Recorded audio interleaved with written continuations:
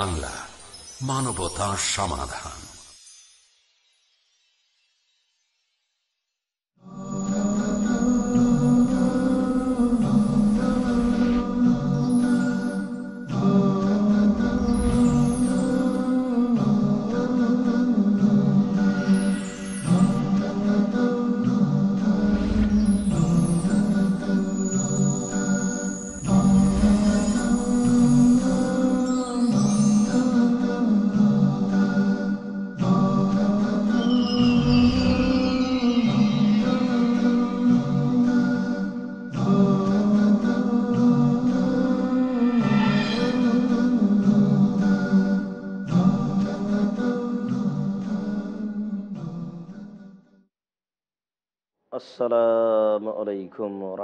الله الحمد لله وحده والصلاة والسلام على من لا نبي بعده. أعوذ بالله من الشيطان الرجيم. وأنفقوا مما رزقناكم من قبل أن يأتي أحدكم الموت فيقول ربي لولا أخرتني إلى أجل قريب. ফাসাদ্দাকুম মিনাসলিহীন নবী হরাইরত রাজি আল্লাহ তালাহ কাল কাল রসুল্লাহ সাল্লাহ আলী হাসাল্লাম মামিন ইয়মিন ইসবেহ ইল্লা এঞ্জেলো ফিহে মালাকানে, ফয়াকুল আহাদ হুমা আতে মুনফিকান খালাফান ফয়াকুল্লাখর আল্লাহমা আতে মুমসেকান তালাফান রাহুল বুখারিয়া মুসলিম। সম্মানিত দর্শক মণ্ডলী, প্রশংসা আল্লাহর জন্য, শান্তি অবতীর্ণ হোক আল্লাহ রাসুলের উপর সাল্লাহ আলহ্লাম আমরা ফাজাইলে আমলের উপরে গুরুত্বপূর্ণ তথ্যবহল আলোচনা করছিলাম, যে আমলের বিনিময় জান্নাত। আমরা যদি এসব আমল নিয়মিত করতে পারি, তাহলে ইনশাল্লাহ এর বিনিময়ে আমরা জান্নাত পাব। তার একটি গুরুত্বপূর্ণ আমল হচ্ছে নফল সাদাকা, ফরজ হচ্ছে জাকাত জাকাত যে কোনো মূল্যে দিতে হবে। জাকাত হচ্ছে অন্যের হক, যা জরুরি ভিত্তিতে বের করতে হবে, না করলে পরকাল ধ্বংস হবে। আল্লাহকে সন্তুষ্ট করার একটি গুরুত্বপূর্ণ মাধ্যম হচ্ছে সাদাকা, দান। এর মাধ্যমে আল্লাহ তালা মানুষকে সন্তুষ্ট করতে পারে। দানই এমন একটা জিনিস যেই দিন বিচারের মাঠে কোনো ছায়া থাকবে না, সেদিন একনিষ্ঠভাবে দান করে থাকলে সে তার বিনিময় ভোগ করবে, বিশেষ ছায়া পাবে। এ মর্মে আল্লাহ তালা বলেন, আমি তোমাদের যে রুজি প্রদান করেছি, সে রুজি হতে তোমরা দান খায়রাত করো। সেই দিন আসার পূর্বে যেই দিন মরণ চলে আসবে, আর তোমরা বলবে, প্রতিপালক, আমাদের একটু সময় দাও। আমরা তোমার পথে দান করে ভালোদের অন্তর্ভুক্ত হতে চাই। সেদিন আমি এই সুযোগ দেব না। মরণ চলে আসলে কারও সময়ের এক মুহূর্ত আগেও হবে না, এক মুহূর্ত পরেও হবে না। মরণের সময় তোমরা দান করে ভালো হতে চাইবে, এই সময় আসার পূর্বেই তোমরা তোমাদের যে রুজি দিয়েছি, সে রুজি হতে আল্লাহর পথে দান করো। আল্লাহ তালা অত্র আয়াতে বলেন যে, তোমাদের যে খাদ্য রুজি আছে সেখান থেকে দান করো। আমাদের এলাকায় ভাত রান্না করার সময় এক মুষ্টি চাউল উঠিয়ে নেওয়া হয়। এই আয়াতের অর্থেই কি আসলে সেই কাজটা চালু হয়েছে? আল্লাহ ভালো জানে। তবে আল্লাহ তালা রুজি থেকে দান করতে বলেছেন, এক মুষ্টি চাউল তুলে নেওয়া ভালো, কিন্তু দান এ পর্যন্তই শেষ, এ কথা নেই। এ কথা যদি আমরা মনে করি তাহলে ভুল হবে। এ কথা নয়। আমরা যা উপার্জন করছি এখান থেকে নীতিগতভাবে কিছু কিছু আল্লাহর পথে দান করতে হবে। এই কথা আল্লাহ তালা বলছে আবু হরাইরা রাজি আল্লাহ তালান বলেন, রসুল সাল্লাহ আলী ওসাল্লাম বলেছেন, প্রত্যেক দিন সকালে দুইজন ফেরস্তা আকাশ থেকে নেমে আসে। দুইজনের একজন বলেন, আল্লাহ, যে যতটুকু দান করল তুমি তার ততটুকু পূরণ করে দাও। অয়াকুল আখার, অপরজন বলে যে যতটুকু দান করল না, তুমি তার ততটুকু ক্ষতি করে দাও। হাদিস তো বোখারি মুসলিমের। দুইজন ফেরেস্তা দুইজন আকাশ থেকে নেমে আসেন আর দুইটি কথা বলেন। একজন বলেন, আল্লাহ যে যতটুকু দান করেছে, তুমি তার ততটুকু পূরণ করো। আর অপরজন বলেন, যে যতটুকু দান করনি, তুমি তার ততটুকু ক্ষতি করো। ক্ষতি তো হবেই, আমরা বুঝতে পারি আর না পারি। যেমন বৃদ্ধি বুঝতে পারি না তেমন ক্ষতিও বুঝতে পারব না। বৃদ্ধি মানে বরকত, আর ক্ষতি মানে বরকত থাকে না। আল্লাহ তালা বলছেন, ইয়ামহাকুল্লাহ রিবা ওয়ুরবিস সাদাকাত। সুদ মানুষের সম্পদকে সংকুচিত করে, আর দান মানুষের সম্পদকে বেশি করে দেয়। আমরা সুদেই বেশি বুঝতে পারি যে মানুষ সুদ খেলে তার টাকা পয়সা বেড়ে যাচ্ছে। একশো টাকা দেয় যদি, আর যদি বিশ টাকা ছয় মাস পরে সুদ নেই তাহলে একশো বিশ টাকা হলো। তাহলে বাড়লো। কিন্তু একশো টাকার মধ্যে যদি দশ টাকা দান করে, আর নব্বই টাকা যদি একটা বাক্সের মধ্যে রেখে দেয়, এক বছর রাখলেও তার কিছু বৃদ্ধি হবে না। এক বছর রাখার পরে যদি বের করে, তো দেখবে যে যা ছিল তাই আছে। তা আল্লাহ তালা বলছেন, সুদ মানুষের সম্পদকে সংকুচিত করে, আর দান মানুষের সম্পদকে বেশি করে দেয়। এটা কীভাবে বুঝব আমি আর আপনি? এ কথাই আল্লাহর নবী বলছেন যে একজন ফেরেস্তা বলে, আল্লাহ, তুমি তার পূরণ করে দাও। আর অপরজন ফেরেস্তা বলেন আল্লাহ, তুমি তার ক্ষতি করে দাও। আমি বুঝতে পারি আর না পারি, এটাই হবে। আনাস রাজি আল্লাহ আনহু বলেন, রসুল সাল্লাহ আলী ওসাল্লাম বলেছেন, আনফিক ইয়াবনা আদম, উনফিক আলাইকা। হে আদম সন্তান, তুমি আল্লাহর পথে দান করো আমি আল্লাহ তোমার পথে দান করব। এই হলো বৃদ্ধি। আমি বুঝতে পারি আর না পারি। আমি যেটুকু করব, আল্লাহ সেটুকু আমার পূরণ করে দিবেন। এ কথা আল্লাহ নিজে বলছে। এটাই হচ্ছে সুদ কমে যাওয়া আর দানের সম্পদ বেশি হওয়া। দান করলে সম্পদ বেশি হবেই। দান করলে বরকত বেশি হবেই। কেননা, মানুষের রুজি ভিন্ন জিনিস। আর বরকত ভিন্ন জিনিস। মানুষ চাকরি করে দশ হাজার টাকা মাসে পায়, এটা হলো তার রুজি। মানুষ জমি চাষ করেছে পঞ্চাশ মন, একশো মন ধান পাবে, এগুলো হলো তার রুজি। কিন্তু এতে একটা ভিন্ন বরকত লাগবে। যদি বরকত না থাকে, তাহলে সেটা তাড়াতাড়ি শেষ হয়ে যাবে। আমরা একটা প্রমাণ স্বরূপ বোখারি মুসলিম থেকে হাদিস পেশ করতে পারি। আনাস রাজি আল্লাহ তালা আনহ বলেন যে আমার মা একটা চাদর দুই টুকরা করে অর্ধেক আমাকে পরালেন আর অর্ধেক গায়ে দিলেন, অর্ধেক পরনে দিয়ে আমাকে নিয়ে চলে গেলেন রাসুলের কাছে। রাসুলের কাছে নিয়ে গিয়ে বললেন, হাদা খোয়াই দে মৌকা ফাদুল্লাহু আনাস আপনার ছোট খাদেম, আপনি তার জন্য একটু দোয়া করুন। আল্লাহর নবী বললেন আল্লাহ মকসির মালাহু ওয়ালাদাহু ও আতিল উমরাহু অগফির লাহু ও রাহামহু ও বারিক লাহু ফিমা রাজাক্তাহু আল্লাহ, তুমি আনাসকে দীর্ঘজীবী করো। আনাসের ছেলে মেয়ে অর্থ সম্পদ বেশি করে দাও। তুমি তাকে মাফ করো। তুমি তার প্রতি দয়া করো। তুমি তাকে যে রুজি দিয়েছ, তাতে তুমি বরকত দাও। রুজি ভিন্ন জিনিস, বরকত ভিন্ন জিনিস। আল্লাহ রাসুল তার কাজে বরকত চাইতেন। যেমন সলাতুল খারাপ কোনো কল্যাণের জন্য দূরে কাজ সলাত আদায় করলে আল্লাহ রসুল একটা বাক্য বলতেন, হে আল্লাহ, আমার এই কাজটা যদি কল্যাণকর হয় ফাকদেরও হলি, তাহলে আমাকে সক্ষম করো। অয়াসেরও হলি, তুমি কাজটা আমার জন্য সহজ করে দাও। ও বারিক লিফি হে, তুমি এতে বরকত দাও। বরকত ভিন্ন জিনিস, রুজি ভিন্ন জিনিস। আবু হরাইরা রাজি আল্লাহ তালাহ বলেন, আল্লাহর নবী বলেছেন যে তোমরা পাশ থেকে খাও, মধ্য থেকে খেও না। কেন মধ্যে বরকত নাজেল হয় মানে বরকত ভিন্ন জিনিস। আল্লাহ রসুল বলছেন যে, তোমাদের খাদ্য পড়ে গেলে উঠিয়ে নাও, প্লেট চেটে খাও। ইন্নাকুমলা তাদরুন্না ফিয়াইতিন বারাকা।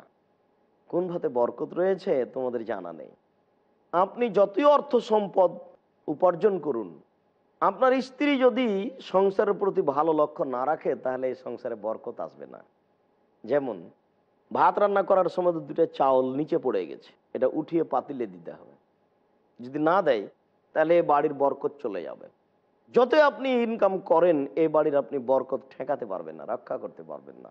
রুজি ভিন্ন জিনিস, বরকত ভিন্ন জিনিস।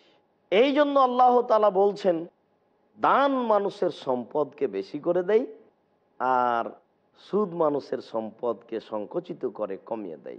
এটা হলো বর্ণনা। এটা হলো বিবরণ। যে আল্লাহ তালা যদি খুশি হয়, তাহলে ধীরে ধীরে ধীরে ধীরে মানুষের সম্পদ বেশি হয়ে যাবে। মানুষ বুঝতে পারবে না। আর যদি অসন্তুষ্ট হন, তাহলে ধীরে ধীরে মানুষের সম্পদ কমে যাবে, সংকুচিত হয়ে যাবে। সে বুঝতে পারবে না কীভাবে হলো, কীভাবে হচ্ছে। সম্মানিত দর্শক মণ্ডলী আমরা কিছু সময়ের জন্য বিরতিতে যাচ্ছি। আশা করি আপনারা ধৈর্য ধারণ করে আমাদের সাথেই থাকবেন। বিরতির পরে এ বিষয়ে আমরা গুরুত্বপূর্ণ তথ্যবহল আলোচনা করব ইনশাআল্লাহ। আসসালামু আলাইকুম রহমতুল্লাহ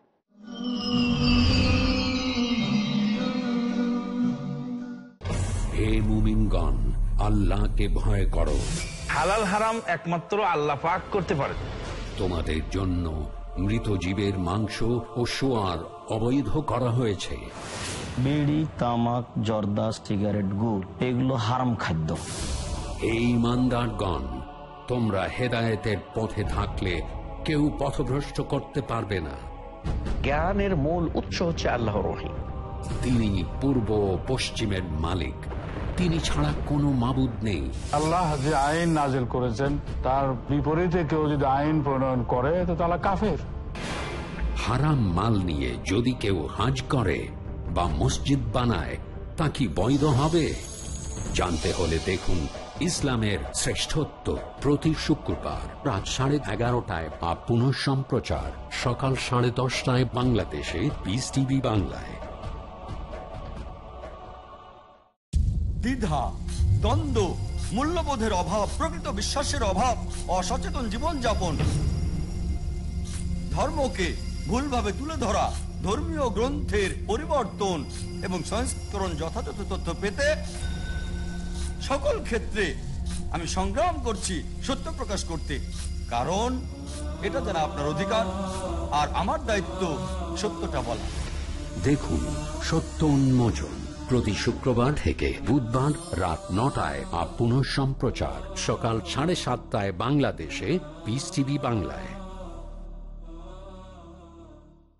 এমন ঘটনা যার মধ্যে নিহিত আছে আল্লাহর নির্দেশ। ঘটনা যে ঘটনা অত্যন্ত শিক্ষণীয়।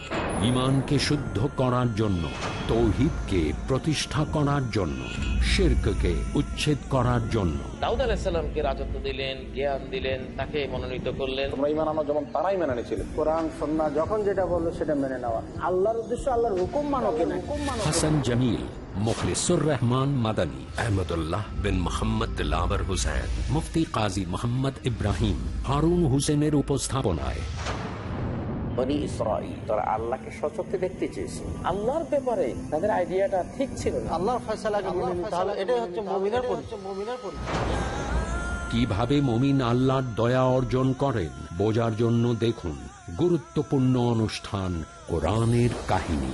পরবর্তী অনুষ্ঠান। পিস টিভি বাংলায়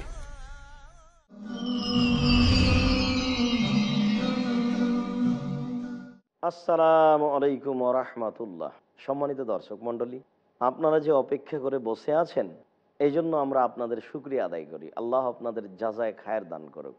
আল্লাহর কাছে আমরা এ কামনায় রাখি যে, এইরূপ গুরুত্বপূর্ণ আলোচনা আপনারা শুনবেন এবং এ অনুযায়ী আমল করার প্রাণপণে চেষ্টা করবেন। আল্লাহ আমিন। আবু মুসা আসারি রাজি আল্লাহ তালাহ বলেন, রসুল সাল্লাহ আলী ওসাল্লাম বলেছেন আত্মহুর সাত্রুল ইমান অজু করা হচ্ছে অর্ধেক ইমান। কালেমা পড়লে মানুষের বাহ্যিকভাবে সব পবিত্র হয়ে যায়।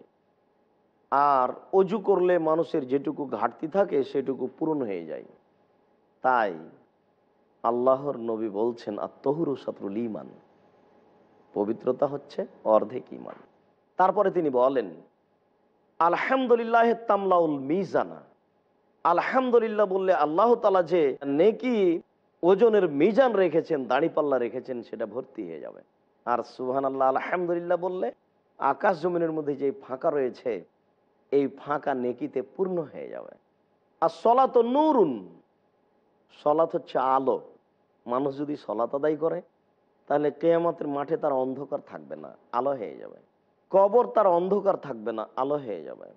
অসাদকাত বুরহান, দান হলো দলিল। আমরা এই কারণে এই হাদিসটি পেশ করছি যে দান এমন একটা জিনিস যেটা হলো দলিল। জমি দখল করবেন, দলিল লাগবে। বাড়ি দখল করবেন, দলিল লাগবে। কোনো কিছু নিতে চাচ্ছেন, প্রমাণ লাগবে। প্রমাণ ছাড়া কোনো জিনিস দখল করা যায় না। আল্লাহর নবী বলছেন দান হলো দলিল, দান হলো প্রমাণ। যার মাধ্যমে জান্নাত দখল করা যাবে।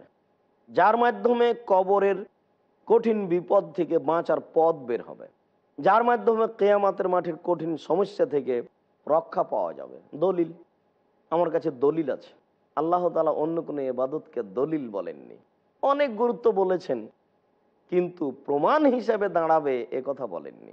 একমাত্র দানের ব্যাপারেই তিনি বলছেন যে দান হচ্ছে দলিল। দান মানুষকে বিচারের মাঠে রক্ষা করবে। অসাবর জিয়া। ধৈর্য হচ্ছে আলো। ধৈর্য ধারণ করলে মানুষের একটা ফল বের হয় সুন্দর।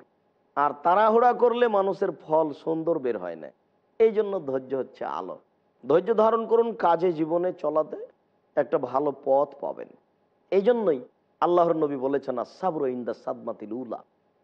যখন প্রথমে একটা ধাক্কা আসছে সমস্যায় বালা, বিপদ, মুসিবত, তখন আপনি ধৈর্য ধারণ করুন। প্রয়োজন রয়েছে। আসাব রুজিয়ে, ধৈর্য হচ্ছে আলো। আবু হরাইরা রাজি আল্লাহ বলেন, রসুল সাল আলী আসাল্লাম বলেছেন সাবাতুন ইজুল্লাহমুল্লাহ তালা সাত শ্রেণির মানুষ রয়েছে বিচারের মাঠে, যাদেরকে আল্লাহ তালা বিশেষ ছায়া তলে রাখবেন। যেদিন আল্লাহর ছায়া ছাড়া আর কোনো ছায়া থাকবে না। আমরা এই হাদিসটির প্রতি যদি আমল করতে পারি, তাহলে জান্নাত লাভ করতে পারব ইনশাআল্লাহ। বিচারের মাঠ কত জটিল, তা এই বৈঠকে বোঝানো কঠিন। এতটুক যে আল্লাহর নবী বলেছেন, বিচারের মাঠে যেদিন কোনো ছায়া থাকবে না, সেদিন সাত শ্রেণির মানুষের জন্য বিশেষ ছায়া থাকবে। সূর্যই তো থাকবে মানুষের এক মাইল উপরে। মানুষ তার শরীরের ঘাম অনুযায়ী থাকবে। কারও ঘাম হবে হাঁটু পর্যন্ত, কারও ঘাম হবে টাকনু পর্যন্ত, কারও ঘাম হবে কোমর পর্যন্ত, কারও ঘাম হবে গলা নাক পর্যন্ত। তাহলে কি আমরা এটা বুঝাতে সক্ষম যে বিচারের মাঠ কত কঠিন? সেদিন সূর্যের তাপ কত বেশি, আমরা বুঝাতে সক্ষম নই।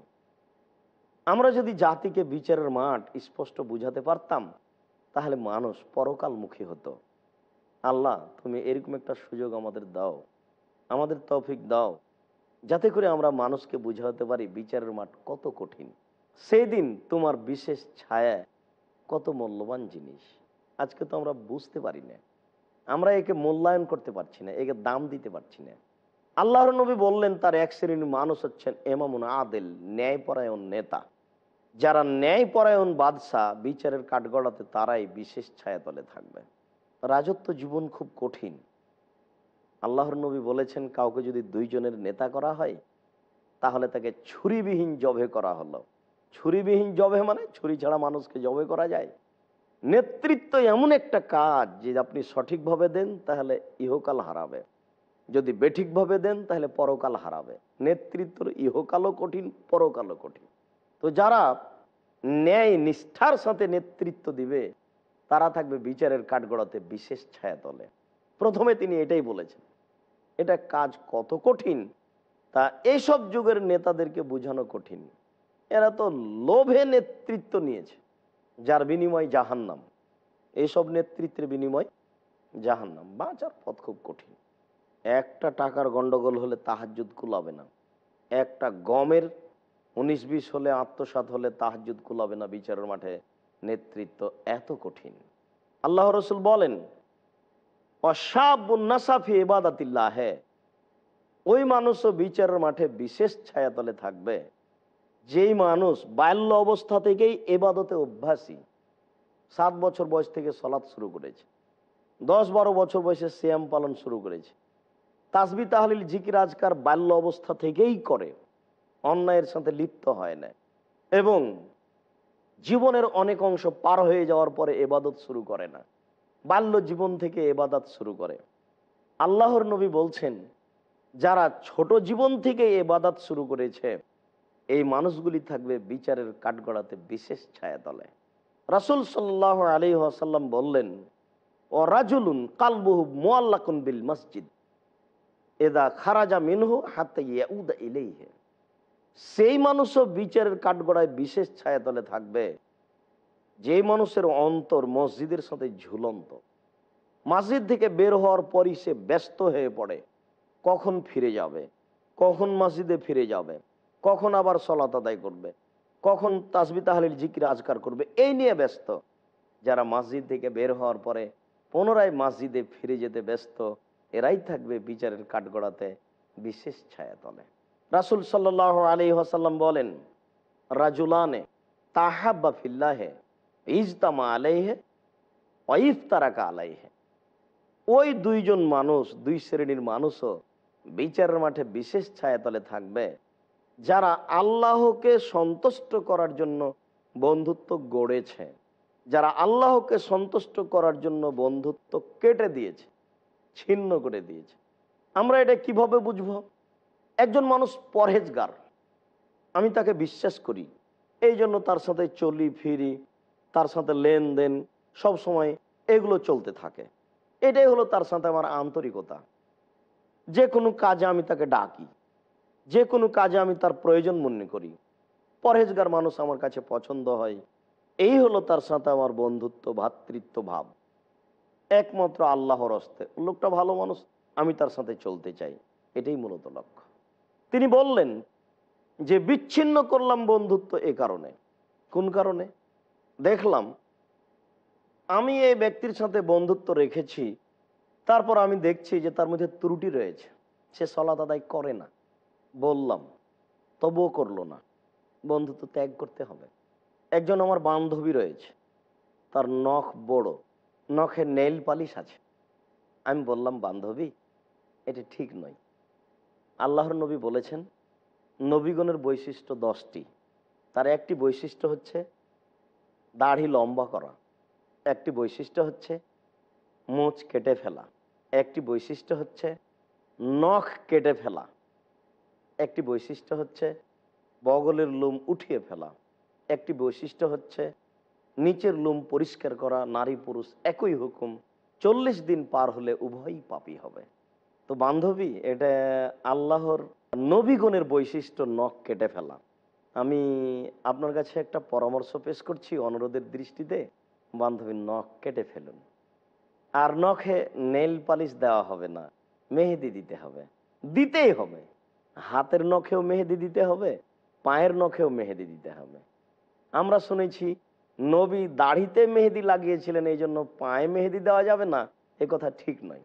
এ কথা একটা বানাওয়াট কথা চলছে। আল্লাহর নবী দাড়িতে মেহেদি লাগিয়েছেন। দাড়িতে মেহেদি লাগানো সুন্নাত। নারীদের নখে মেহেদি লাগানো সুন্নাত। বরং জরুরি, একজন মহিলা রাসুলের হাতে একটা পত্র দিল। দেওয়ার সময়তে তার নখে মেহেদি ছিল না। আল্লাহ রসুল নিন্দা করলেন যে এটা পুরুষের হাত না নারীর হাত। তিনি তো নিন্দা করলেন। তাহলে আমাদের জন্য জরুরি হবে যে নখে মেহেদি দেওয়া। পুরুষ মেহেদি দিতে পাবে না। এখন আমি বললাম, বান্ধবী নেইল পালিশ তুলে ফেলতে হবে।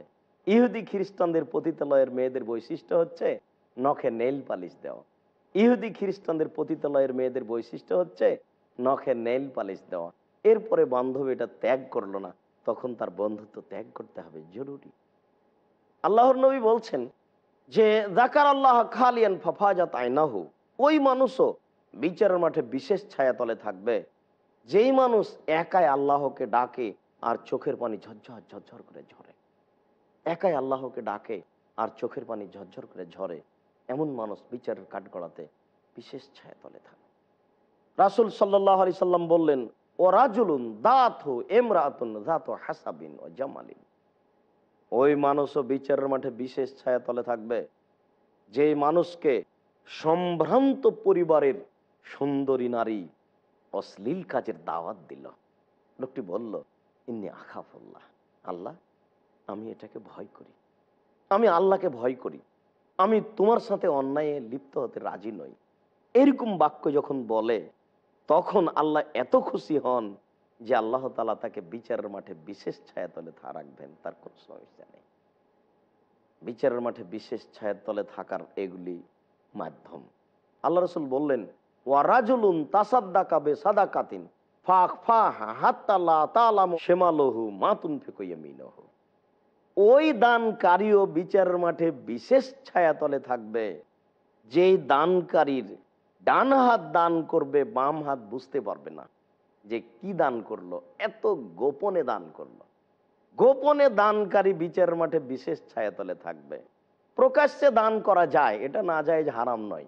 আল্লাহ রসুল খোলা মাঠে বললেন, তাবুকের যুদ্ধে যেতে হবে, কে কতটুকু দান করবে? উমর রাজিয়াল্লাহ বললেন, আমার বাড়িতে যে অর্থ সম্পদ রয়েছে, তারা অর্ধেক দিলাম। আবু বাক্কর সিদ্দিক রাজি আল্লাহ তালানু বলেন আল্লাহর নবী, আমার বাড়িতে আপনাকে আল্লাহকে রেখে সবই দিলাম।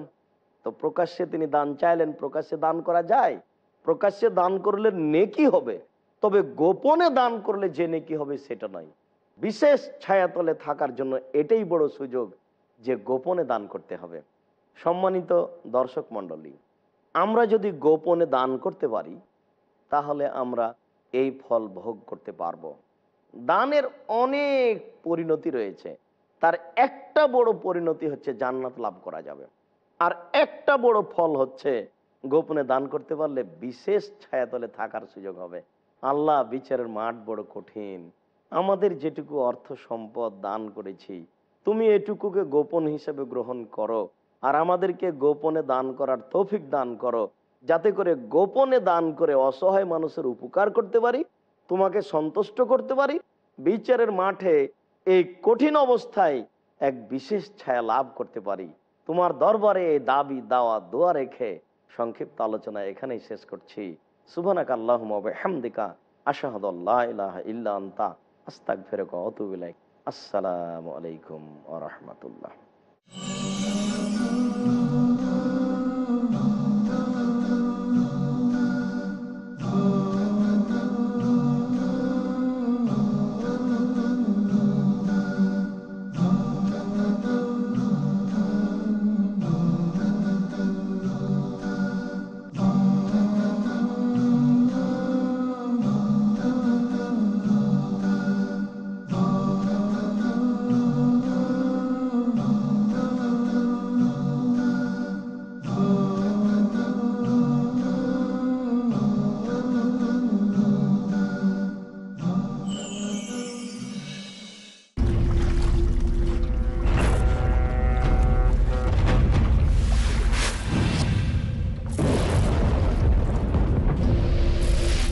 লকার আপনার সম্পদকে সুরক্ষিত না রাখতে পারে, বিনিয়োগ আপনার সম্পদকে না বৃদ্ধি করতে পারে, কিন্তু জাকাত দিলে নিশ্চয়ই আপনার সম্পদ বাড়বে, থাকবে সুরক্ষিত এবং পবিত্র।